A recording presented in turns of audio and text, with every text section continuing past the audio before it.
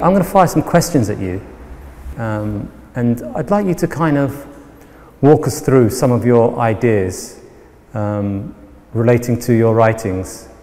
Because uh, um, you don't explicitly talk about visual art per se, but you just talk about how perception works.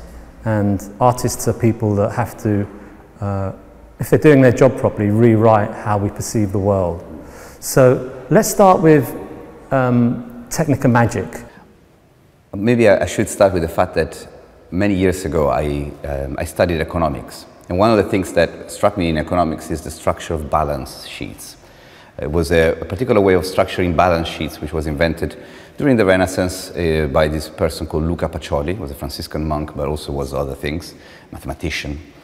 And in the balance sheet, you have a perfect equivalence between what's on one side and what's on the other side. Strangely, when you create a traditional balance, the losses and gains somehow always compose a perfect equilibrium. So when creating the book, I was thinking of um, structuring it in a similar fashion. Half of it was about the system of reality which we use today. I will explain what that means. And half of it was about an alternative system of reality. And I wanted the two to be perfect mirrors of each other. So the architecture is, in that way, almost like a balance sheet. Technique and magic are two different ways of creating reality, of making, uh, of creating a world out of the chaos of raw perceptions. Two different ways of ordering this is simply what they are. Two different paradigms. To elaborate, there are two different ways of deciding when we are invested by the avalanche of perceptions, which includes all sorts of things, how we select them, which perceptions we select as real, which ones we select as unreal, which ones, how we organize them into discrete units in space, in time, and conceptually. Technique has one method, magic has another method. Neither of them is right, neither of them is wrong. They are both arbitrary ways in which we organize our mental landscape. That's how we provide ourselves with a meaningful landscape where we can live. Technique is, a, mm, is a, the name I assign to this, to one of these methods. Uh, it's a name that I borrowed from many other thinkers as well that have been trying to grapple with the same thing um, Heidegger, Junger, Emanuele Severino. And it's the name that I assigned to a particular way of making sense of reality, which really came into its own in the 20th century, even though it was already there before. Came into its own after the First World War, and then very much so after the 70s and very much in the last 30, 40 years. Technique is a way of making sense and making order of your perceptions and of reality based on one important idea. We are endowed with language. It is through language that we make sense of the world. If I was not able to nominate, to denominate different things and, and with, this with my words to separate them, I would, I would have no world to live in. I create my landscape by giving different names. Think of Adam in the Garden of Eden. God says, Go and give the name to all the animals, they're all for you. This idea of creating through words. Technique says, Well, everything that exists, so all the things that we accept as legitimately there, are things that can be captured by a linguistic definition. This linguistic definition doesn't have to be only with normal language. Mustafa, human, table, but it can also be financial language, IT language, scientific language, the language of citizenship, and so on and so forth. So everything that exists is capturable by language. The, the second part of this idea, as a criterion of organizing, is all the things that cannot be captured by language, all the things that resist the capture of language, and if you think about it, you realize that there are already a few that might come immediately to mind, but then I'll focus into one in a moment. Those things don't exist. Ultimately, the real criterion to decide what exists in reality is language. And the real stuff of which things are made is language. When you look at, at this object, you list the list of things of which it is composed its molecular composition, its weight, its cost, its history. These are all linguistic definitions. When you, are exhaust, when you have exhausted the list of linguistic qualities that belong to this object, the object is done. Fundamentally, the object is the list of its qualities, linguistically arranged. Magic is a very different way of creating reality. For magic, the idea is that when you look around yourself, when you encounter something that exists, you, but also when I look at myself and I realize that I exist, that thing which I am looking at is not Mustafa, is not a male, is not any of your particular qualities, but it is the fact that you exist. The most important thing about you and about me is the fact that we exist. Then the other qualities can change. The other qualities can be uh, rearranged in many different ways, depend on culture, circumstances, and so on. But existence is the most important thing. So if I have to organize my perceptions about you, I don't organize them by using language as a criterion. I organize them by using the intuition that you exist as the basis. And I say the intuition because existence, pure existence, is beyond language. It is ineffable. It is the thing that you cannot explain through any other linguistic mean. If you use that as the beginning of your way of ordering reality, you create a very different world. In the book, I look at the world of technique and the world of magic. I look at them um, looking at the different dimensions that they create, literally the architecture of the world. And they are one the opposite of the other. They are the mirror of each other. And in that sense, I also use that uh, accounting system to, to create an order in their descriptions. Your starting point is a kind of nervous breakdown. It's, everything has just stopped. It's not working anymore, and we just have to hit the pause button on everything and reassess everything. And that's what you map out um, why things have just stopped, why things have just broken down, and what we can do, what we can do about it. not in a literal sense, go out and protest. Um, but and this is very much, this is your kind of analysis, and you know I sense it's from your kind of anarchist background, which is about analyzing systems and structures and trying to kind of destabilize them or work around them. We want a society in which we just play every day, we're just free. We don't have the, the just horrendous torture of meaningless labor, you know. Uh, um, that's, that's, that's how I sense where you're coming from. Is that fair assessment? It is fair, but I think strangely, um, my desire to kind of always go to the fundamental level and shift the terrain completely, to not engage dialectically with the world as it is, but to kind of like turn the table upside down. It doesn't come so much from anarchism or my anarchist uh, readings, but more for my readings in military strategy and military history. Wow. yeah. In authors um, like Maurice, the Byzantine emperor, but also Sun Tzu, von Clausewitz, the, the, old writers of the, of the past, like the military strategists of the past, the ones that wrote books of um, military methodology. One of the things that you find currently is that by choosing the terrain of the confrontation, you are already, to a large extent, deciding the outcome of the confrontation. If you enter a terrain that was not chosen by you, but it was chosen by your adversary, specifically because it gives them a great advantage, then it is much more difficult, sometimes impossible, for you to win. And I noticed by looking at the political uh, developments of the past few decades that the, the left and the extreme left and hard left, um, to which I belong in part as an anarchist, uh, made the mistake of entering terrains that were already predefined. And in those terrains, it seemed impossible. I think it, makes sense to wonder to what extent it's possible to connect metaphysical investigations with political, uh, with a political, not agenda, but also political interests, and whether the two have anything in common. I believe they do. I believe that there is, before the political sphere, there is a pre-political sphere where you set up all the ingredients that you need, all the, the game board where the political game takes place. Depending on how you set it up, you make different political games possible. The ultimate terrain, the ultimate pre-political layer where you decide in advance what are the moves that are possible on top is metaphysics, how you structure the world. For example, when we think about the problem of migrations, If I say the think of the problem of migrations, you immediately understand what I mean, as if it was a real thing. Hmm? If I was talking about the problem of ghosts, you would be like, what are you talking about? We, you immediately understand what I mean because we are given the idea that there are some natural things in the world states, nations, boundaries, the citizenships, identities, all these things are natural. This, after all, is England. England is not a ghost. England is not an abstraction. England is a real thing.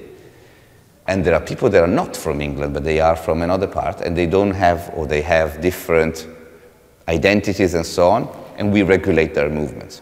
So if we enter the debate on migration by already accepting that nations and borders are truly metaphysically, eh, metaphysically existing things that truly define metaphysically important aspects of people, to the point of defining what they are, then we've already lost. Okay? Then it's impossible to really take this off the hinges and really modify migration policies. However, on, on the contrary, if we enter by saying, hold on a second, do we accept that this thing is metaphysically real? Or is it a fantasy?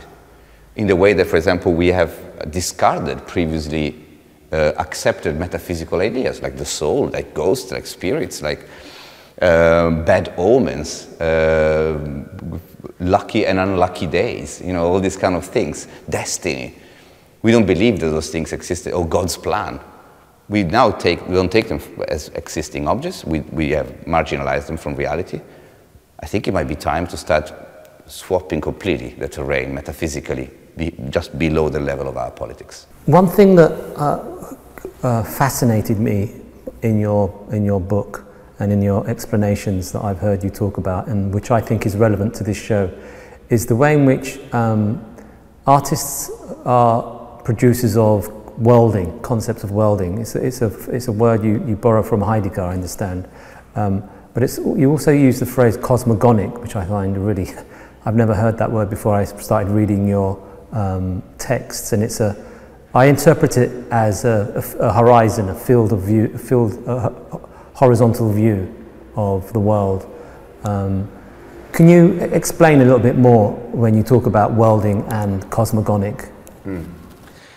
Well, cosmogony is an old Greek term. I think maybe nowadays there is more familiarity with the word cosmology. A cosmology is the picture of the universe.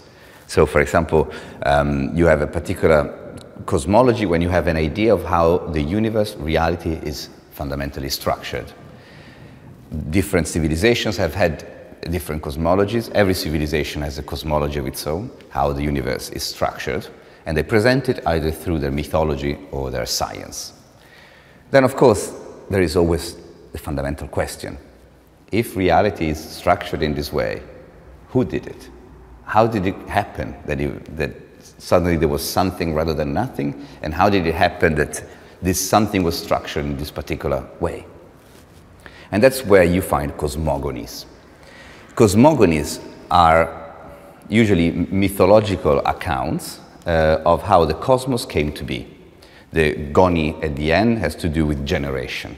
Also in generation there is the same root. Uh, in Greek also gune, woman, has the same root. So it's the idea of like coming, bringing something into, into to life. So a cosmogony is the moment in which a world comes into being. In mythologies, of course, this is usually assigned to a particular mythological character, the creator god or a creator force that brought about a particular book, a particular, a particular world. In science also there are some phenomena or some moments that are seen as uh, the beginning of the universe. The Big Bang is the cosmogonic moment of the scientific universe. In what I was expo ex exploring with my book, I, I started from a different hypothesis, that what we call the world is very much the product of our ordering, of our raw perceptions, on a plane that has no order whatsoever, what you call chaos. This is, by the way, similar to typical cosmogonies. What creates a world? The answer is fundamentally the one that make, does the job of perceiving and ordering it, which might mean specifically you yourself. If you yourself are the one that operates this, then you are the cosmogonic force, the force that creates a cosmos out of chaos. There's a couple of things to keep in mind when talking about this. One has to do with the freedom of cosmogony, and one has to do with the limitations of cosmogony. Let's begin with the limitations of cosmogony. Every single one of us can create the world very differently, depending on uh, how they decide to put things together. Um, we can decide that when we, uh, when we receive, for example, the, the, the perceptions and impressions of this room, I decide not to separate between you and the chair, but you and the chair constitute one object. You and the shirt constitute one object. Or I can decide to separate your head from the rest of your body and create it into two, and so on and so forth. I can assign different names, creating a different catalog, catalog of what there is. I can assign a name to your aura, or to your soul, or to the dream of my grandmother last night, and make them populate my world. I can imagine that time goes cyclically, and so on and so forth. So there is infinite freedom. This infinite freedom, however, you know, when we look at how we interact with each other, is partly disproved. Because when we say we meet at 1.30, we assume that we're going to meet at 1.30. When I address you as Mustafa and you address me as Federico, we assume that we share the same way of making that world. Hmm? This is because in order to interact with each other, we do need to find some common ground. Each of us can create the world entirely differently. None of them is true or false, or more true or more false. But in order to be able to have a conversation, to share some common ground, we need to synchronize. Synchronize the way in which we create objects out of perceptions, time, and so on. Civilizations usually provide this. Civilizations are big metronomes for worlding.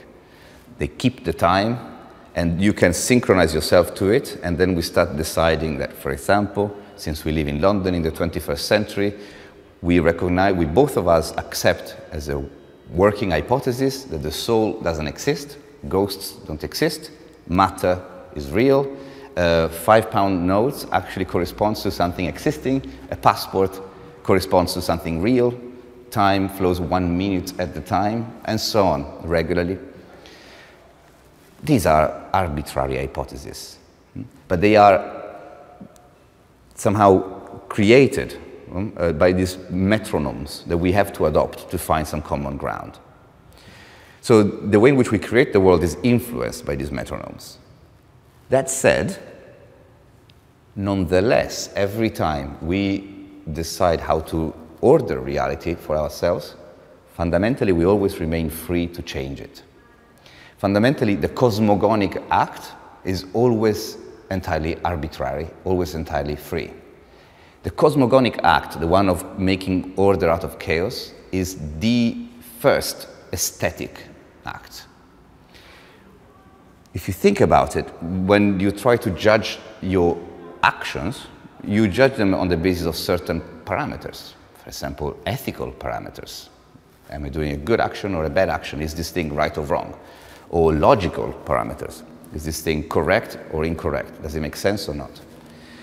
All these philosophical machines, logic, ethics, and so on, are specific of the idea you have of the world. Logic operates differently depending on how the world is structured. Ethics operates differently depending how the world is structured. Typical example. No? If, if we decide that the world is made of living and non-living beings, then ethically there is no problem destroying non-living beings. If like the Yanomami uh, people in the Amazon forest, we decide that the whole world is alive, then it's an ethical problem to break a piece of, a piece of rock. Now, all these different things so depend on the, on the shape of the world. So fundamentally, they all depend on how you make the world. The way in which you make the world is aesthetics. When you operate aesthetically, you are at the very ground zero you cannot look any back at anything else already there to decide how to do it. Your decision is arbitrary. And in so doing, you set the foundations for logics, for ethics, for everything else. So there is always this fundamental freedom to change the way in which you make world, to change the cosmogony. After all, there is always a hint of omnipotence in the stories about the creator God. Tell us what growing up in Sicily um, means for you and how you perceive the world and through that experience in terms of your philosophical practice? Well, I, I grew up around Italy because one of the typical things of, the, of Mediterranean people since the beginning of time, and especially nowadays, is migrating. And my parents moved from Sicily to the north, and then we moved back again. And so it was a continuous movement. For me, Sicily was the homeland, in a sense. That was never fully mine, because as the child of migrants, I was connected to it, but at the same time, I was also separate from it. Of course, the, the, the, Mediterranean engulfs the whole of Italy, so the whole of Italy is Mediterranean, but there is something quite unique about Sicily. Let's say the quintessence of the Mediterranean in Italy can be found more in the south than in the north. The Mediterranean, as you say, is a strange area. In itself, for example, it means that which is between the lands. Uh, but originally, in, uh, for example, in Latin, when you would say this, uh, an area was Mediterranean, you wouldn't mean the Mediterranean Sea. You would mean, for example, the area of Gaul, France, that was between two other lands. It was, is the place in between. Then it was applied to the Mediterranean a bit later on. The Mediterranean is something that to a tourist seems very clearly one specific thing. To a tourist, Mediterranean is that specific uh, sun, the sunlight, that specific color, that specific uh, habits, the, the specific blue of the sea. When you look into it, actually, it's not like that. The Mediterranean is paradoxically none of the things that um, we usually associate with it. Let's begin with the color. The Mediterranean is clearly blue. Well, and not. To the, for the ancient Egyptians, the Mediterranean was green. It was called the Great Green. For the Greeks at the time of Homer, was the color of wine. For the Turks, is the White Sea. For us, is the blue Mediterranean. Already just at the basic facts, if you start looking historically, you see that it shifts. The taste of the Mediterranean, the, um, the tomatoes, the um, chili peppers, the aubergines, none of it comes from the Mediterranean. They come from as far as China and the Americas, and so on and so forth. There is something quite unique, however, to the Mediterranean, which is specifically Mediterranean. A couple of things. One is that being a sea between the lands, it has always been traversed by people. The interesting aspect that you say, like I come from further southeast, and yet I look more as if I was a northerner, and, I, I, and vice versa in my case. The people of the Mediterranean have moved all the time, and so it's impossible really to define a Mediterranean ethnicity as such, really doesn't exist. So the, the way in which they have mixed ethnically has also contributed to, the, to the, their mixing culturally. The languages of the Mediterranean constantly influence each other. The, way, the habits, the way of living, the religions are constantly influencing each other. So one thing that is typical in Mediterranean is, well, what we could call syncretism, so different identities merging into a new monstrous being. The Mediterranean is a monstrous being, it's impossible to locate except in any way. And this is something that has influenced me, of course, because it gives you an idea that the things that appear stable, maybe to other perspectives, stable civilizations, stable cultures, uh, stable values and identities, from a Mediterranean perspective, are not stable at all. even their origin is always impure. That's one thing. The other thing that is typical, I think, of the Mediterranean is the fact that it has been the cradle of civilizations in the sense that it has witnessed the birth of many different civilizations. But most importantly, it's been the graveyard of civilizations.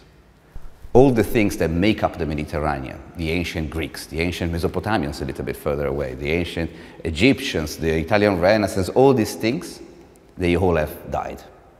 And there is a sense in the Mediterranean of death, a familiarity with death, which I think is quite unique.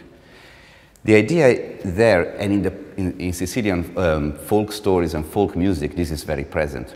The fact that nothing is permanent, that even the greatest achievement doesn't have an infinite future ahead of itself, that the future is finite, that every single bubble has a future that goes to a certain point and then it ends. That time is not a line, but it's a segment. You find syncretism in Latin America, you find syncretism in, in uh, East Asia, But I think in the Mediterranean, the process of syncretism has been relentless for such a long time that truly constitutes one of the real characters. Syncretism is a method, and it's a method that is very forgotten nowadays. When we think about how differences can go together, nowadays we think that one option is that they stay next to each other, like a mosaic. Another option is that they merge into one thing, clearly. One swallows the other, you know, integration in terms of immigration, usually that's what it's called. You are an immigrant to France, you become French. Syncretism means that every single part of it is betrayed in the union with the others, and you create something entirely new and unplaceable. The second aspect of the Mediterranean that I think is important is the fact that there has been so much syncretism, also because all the different groups that have inhabited it, all the different societies that inhabited the Mediterranean, died at some point. Every native was displaced. There is for example, the, the Mediterranean hardly has any true natives in the way in which we fantasize about this term. My family is Sicilian. In Sicily, we haven't had natives since, I think, the 5th century BC. All the rest, all the Sicilian people are Greek, Albanian, Romans, uh, Celts, Arabs, and so on and so forth.